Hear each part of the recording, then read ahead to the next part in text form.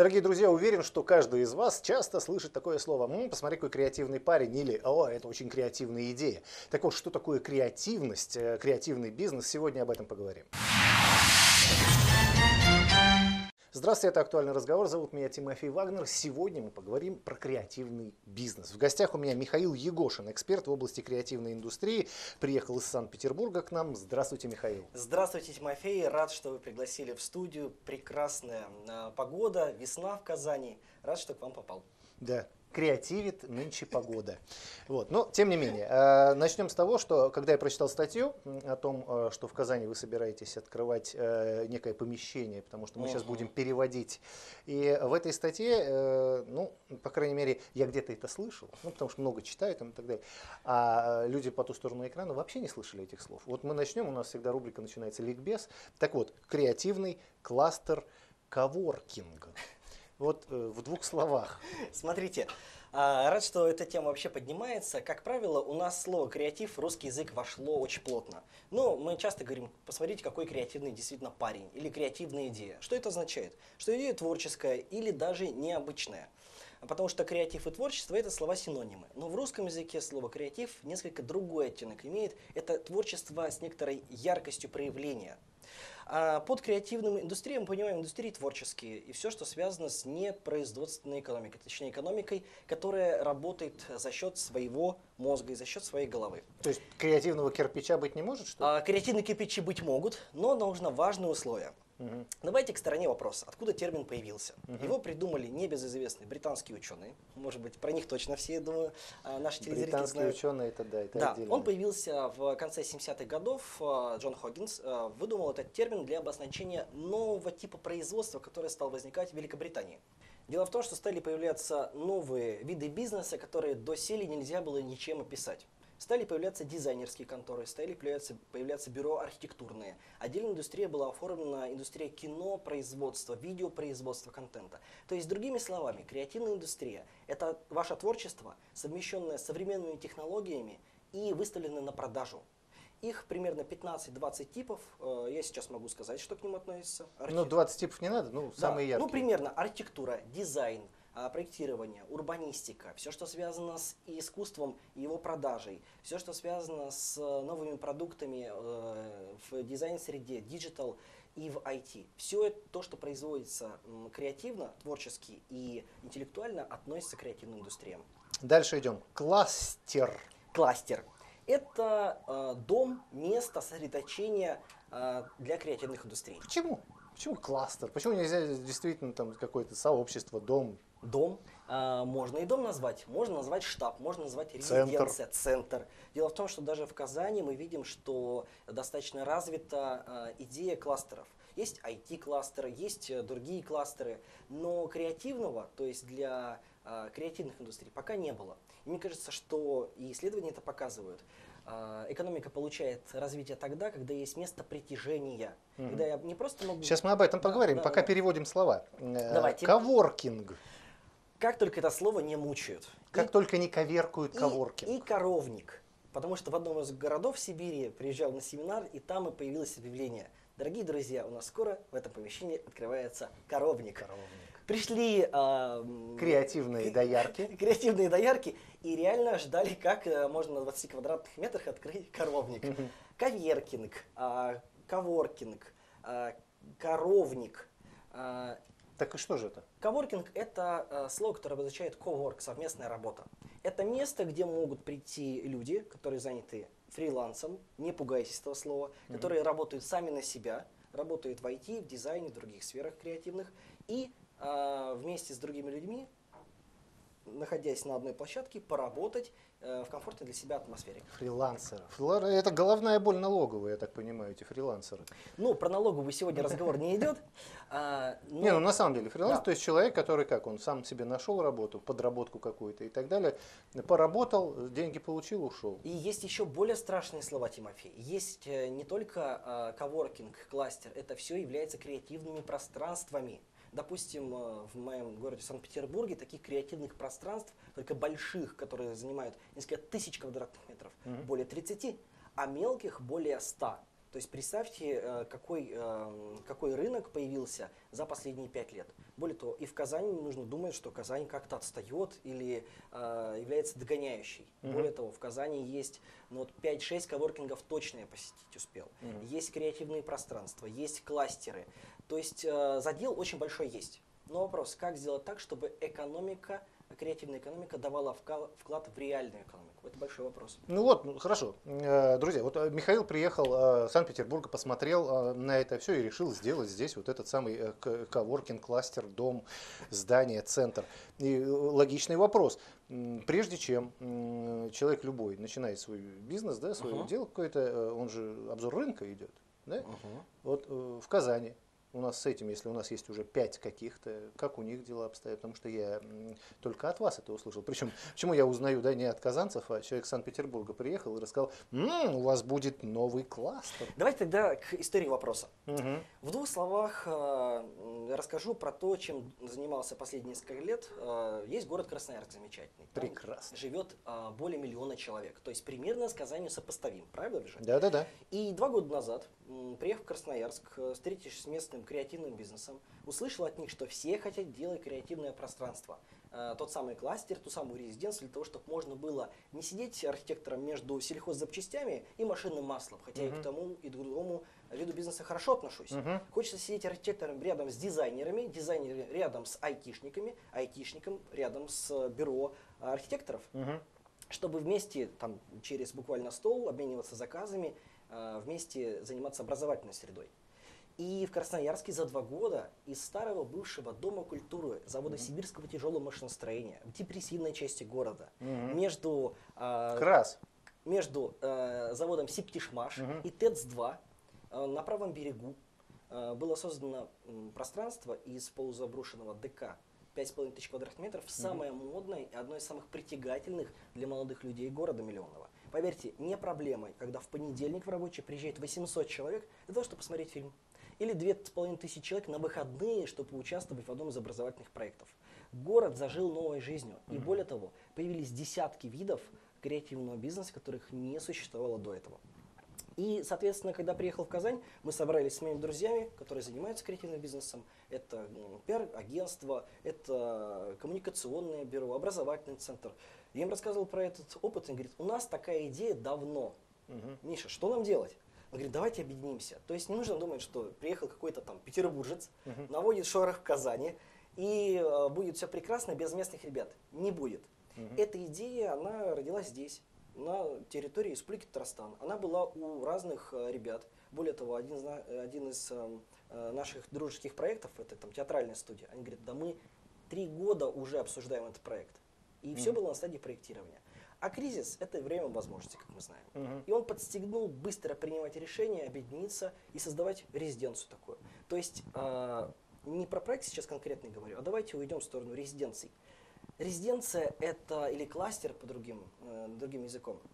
Это важная, необходимая деталь для развития креативного бизнеса в городе и в регионе.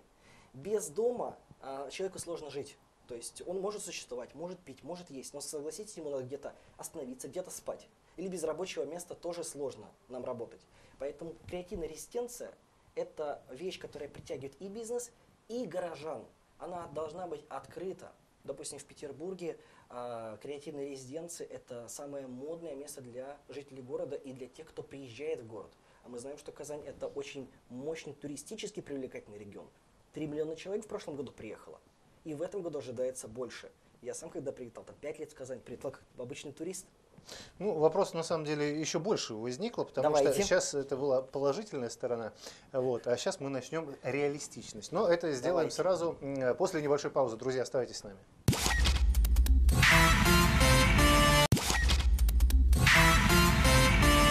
Продолжаем разговор. Тема у нас сегодня креативный бизнес, э, креативные люди, креативные идеи. Э, Так вот, остановились мы на том, что да, хорошо, все, это замечательно, нужен дом, нужны люди, э, но тем не менее, я, все к финансовой стороне веду. Э, То есть, э, кто согласится, я не знаю, потому что в Казани любой бизнес-проект, да в люб- везде, да, любой только в бизнес-проект, когда ты приходишь, я не уверен, что э, прям взяли люди, ну что, да вот мы дом построим, тут художники будут, а тут певцы, дайте денег. Вот, э, Смотрите, я согласен, абсолютно резонный, правильный вопрос. М, Михаил, а как это все появляется с точки зрения финансов? Давайте сразу разберемся. Вот э, слово креативная индустрия, переводе как творческая индустрия, ну это не одно и то же.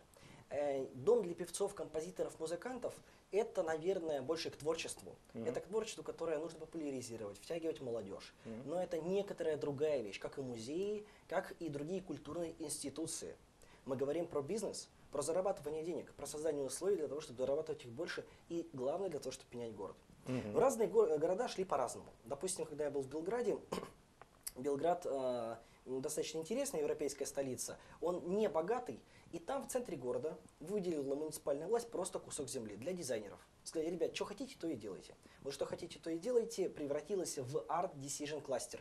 Когда они поставили контейнеры друг на друга старые, своими силами сделали там ремонт, и сейчас это м, притягательное место, где проходят события, где есть ресторанчики, модные места, где работает бизнес. Я знаю, что даже какой-то целый район есть, который А, требует точно. независимости А, даже.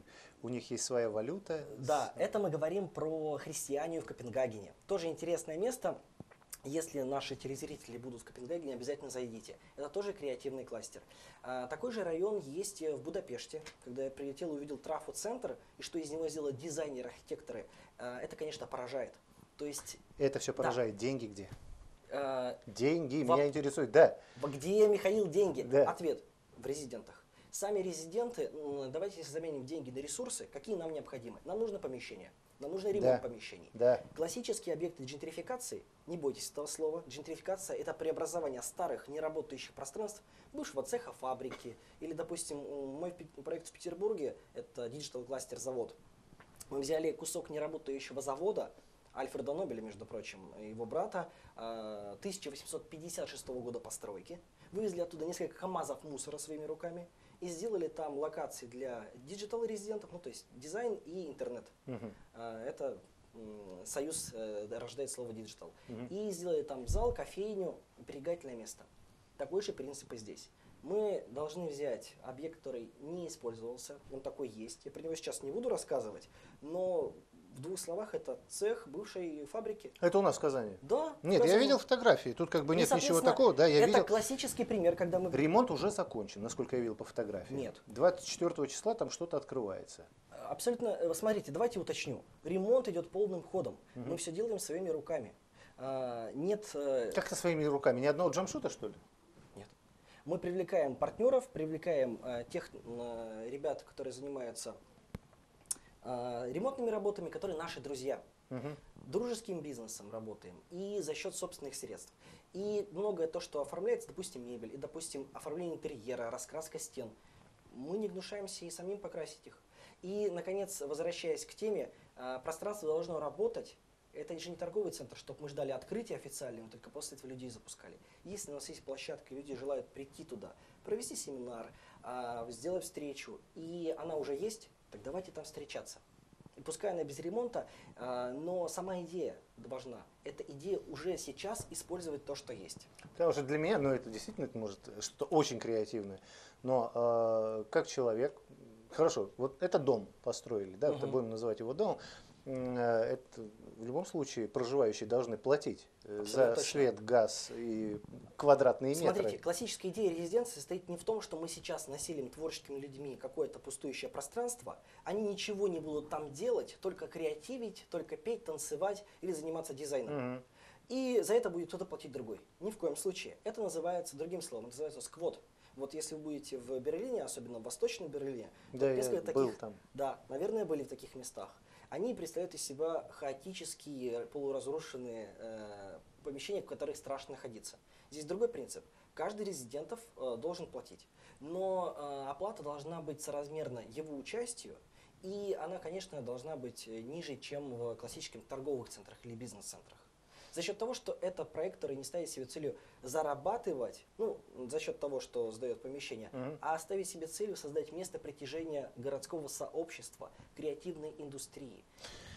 Опять, Миш, я к Давай. чему? Да, мы, мы говорим великолепно. Это так всегда, это так звучит и хорошо. И так Про далее. конкретику тогда. Я, я не только конкретика, я вот представляю, ну хорошо, вот э, три человека творческих, замечательных, рисуют мультики, да, вот художники. Вот. А, они приходят, говорят, вот можно у вас тут мы компьютеры поставим, Ответ. начнем рисовать. Тимофей, э, сразу ответ. Скорее всего, они нам не подойдут. Потому что их идея недоупакована, она пока не продается. Мгм. А, им не с чего будет оплачивать себе зарплату, им Мгм. не с чего будет оплачивать себе, самим себе эм, оплату труда. Тогда сама идея, она уже потеряет смысл. Любой ну, творческий Мгм. человек, он априори, ну, ну хорошо, Давайте- 99% творческих людей, они абсолютно никакие менеджеры. Давайте расскажу про Красноярск. Пример живой. А когда мы открывали два года назад э, креативную резиденцию в Красноярске, только ленивый в нас не бросил камень. Со словами, да вот это нам не надо. Да у нас город в Сибири, мы тут лаптем щи хлебаем. Мгм. Да, ты знаешь, э, Михаил, нам вообще ваши все эти идеи московские, петербургские неведомы. Мгм. Потом мы собрались с э, креативным бизнесом. Это крупнейшее дизайнерское бюро э, Мгм. в регионе, которое работает больше даже на московские международные заказы. Делало логотип универсиады Красноярской, на секундочку. Это ребята, которые занимаются интернет-проектами. Это образовательный центр. Мы собрались и спросили, нужна ли такая вещь. Они говорят, у нас сама, у самих была такая идея. Мгм. Просчитали экономическую модель, увидели, что они могут столько себе позволить, стали делать своими руками, э, приводить помещение в порядок, они сами себе делали ремонт и есть взнос резидентов. После этого, после того, как появилось 4 якорных резидента, Мгм. за два месяца, за три месяца примерно, э, набралось еще 10 бизнесов, которых до этого не существовало. Пришли ребята, говорят, мы хотим открыть кофейню. У нас есть небольшие деньги, там 50-100 тысяч. Мы хотим, чтобы она была здесь. Мгм. У вас много событий происходит, много образовательных форматов, там дизайн выходные. Это я понял. Открыли. Пришли, а, пришло креативное производство. Ребята, которые делают лонгборды, это длинные скейтборды. Мгм. Они говорят, мы хотели такое место. Можно ли у вас его занять? Ребята, да. Но вы должны доупаковать себя и продавать. Для того, чтобы быть э, востребованным, для того, чтобы был экономический вклад э, в развитие региона. Они говорят, без проблем. Мы им помогли. Таким образом, мы говорим даже не про кластер, просто резиденцию для певцов-музыкантов. М-м. Мы говорим про резиденцию для нового бизнеса, который бы рождал новые рабочие места и был бы таким инкубатором, который производил новые проекты. Пример Красноярска Опять же, вот у меня, у меня, у меня сейчас, Да, у меня сейчас лопнет голова. Значит, смысл простой. Если человек, который э, что-то умеет делать, но не умеет себя продавать, он не интересен. Ну, то есть он, потому что он... И готовый бизнес, который всего-навсего просто э, поднимают все свои компьютеры и тела и переносят в это место. Мгм. Вот э- эти люди интересны. На секундочку. Вот про первую целевую аудиторию. Мы скажем, приходите, мы подскажем. У нас есть эксперты, которые помогут советом, делом доупаковать себя. Вторым мы говорим, приходите, если вы хотите дальше развиваться, тянуть свою аудиторию, приходите, давайте делать вместе. Мы призываем все аудитории, которые связаны с э, индустрией.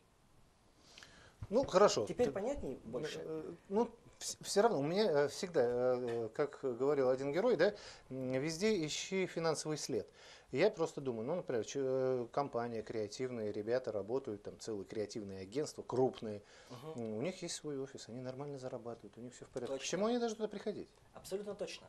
Давайте посмотрим на это с другой стороны. Из э, их э, попробуем с их с точки зрения посмотреть. Я директор э, дизайнерского бюро или архитектурной мастерской. И э, буквально с вчера с архитекторами ребятами общался. Они звонят, а в день примерно там по 20 звонков мне приходит. Мгм. И сейчас там 20 заявок стать резидентами. Что они говорят? Говорят, Михаил, мы прочитали.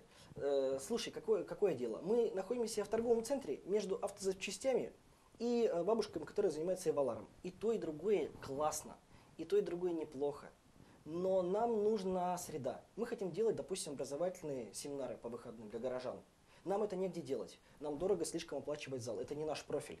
Но мы хотим что-то делать для города.